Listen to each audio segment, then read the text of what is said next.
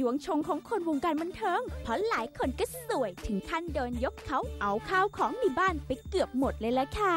โจรเขารู้ว่าบ้านอยู่ตรงไหน เป็นที่จับจ้องมากกว่าคนปกติ อาชีพนักแสดงบางครั้งก็ไม่ไม่ได้ร่ำรวยคนส่วนใหญ่หรือโจทย์ชอบมองว่าดาราเป็นคนรวยและมีสตางค์คงอยากจะยกเขาดารา เราก็เป็นคนธรรมดาเหมือนคนปกติ มันอาจจะเป็นเป้าหมายของคนที่แบบคิดไม่ดี งานนี้ไม่ว่าจะเป็นสาวน้อยหนูนาหนึ่งทิดาโสพลสาวจักจั นอัคคำสิริสุวรรณสุข และปุ้ยพิมลวันสุพยาง เราคงต้องไปปราบปรามกันที่ต้นตอคือเรื่องของยาเสพติดมันก็เป็นปัญหาต่อต่อๆมาถึงขั้นของการลักทรัพย์ไม่ว่าจะเป็นอาชีพอะไรก็แล้วแต่อย่าไปปล้นเขาเลย คุณก็ควรทำอาชีพสุจริตด้วยโจรทั้งหลายแหละเนี่ยให้หยุดพฤติกรรมซะไม่จำเป็นต้องบ้านดาราบ้านคนทั่วไปก็ไม่ควรจะปล้นไม่ควรจะยกเขาเขาจะเป็นดาราหรือว่าเป็นประชาชนธรรมดาก็มีโอกาสถูกยกเขาได้ถ้ามีทรัพย์อะนะคะ นอกจากให้ตำรวจดูแลแล้วต้องดูแลตัวเองด้วยค่ะเป็นน้ำพักน้ำแรงหยาดเหงื่อแรงงานของคนอื่นเขาแท้ๆยังกล้าทำได้ลงคอ ยังไงก็ขอให้คุณตำรวจจับพวกโจรใจบาปมันลงทันได้ในเร็ววันนะเจ้าค่ะ